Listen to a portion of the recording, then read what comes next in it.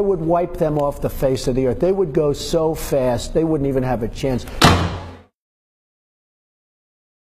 Somali pirates killed four Americans recently. How would you handle it, President Donald Trump? It's, again, a total lack of respect for this country and maybe even for the world. Give me one good admiral and a few ships. I would wipe them out so fast. Can you believe they're holding 40 ships, 800 and some odd men and women, I guess, and we do nothing. And these guys are like, this would be easy. You give me one good, smart, tough admiral and a few ships, I would wipe them off the face of the earth. They would go so fast, they wouldn't even have a chance. Can you believe that these guys are taking tankers that are a thousand feet long, that cost hundreds of millions of dollars, and just taking them with rowboats? It's hard to believe. One good admiral, that's all I want.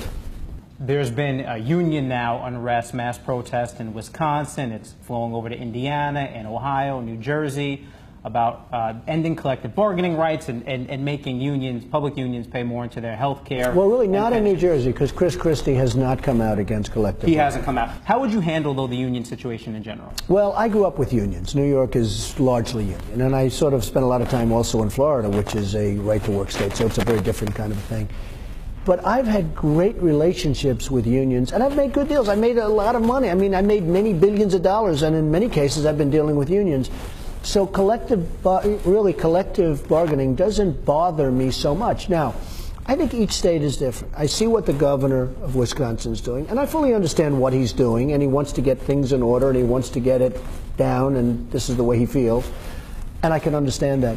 At the same time, you'll look at New Jersey and other places where they're not looking to take that stance. They'll bargain with the union in a collective fashion.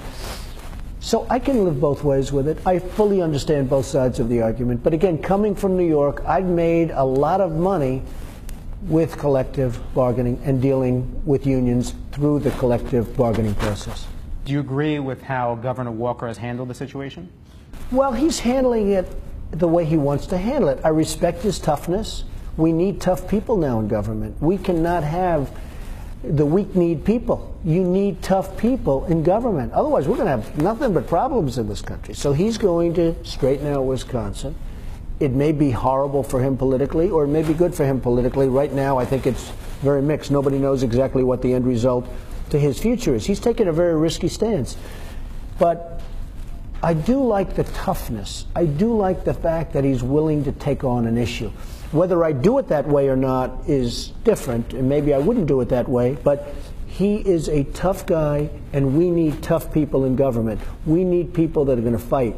Because otherwise, I mean, we're going to go the way of Greece and Spain and so many other countries seem to be going.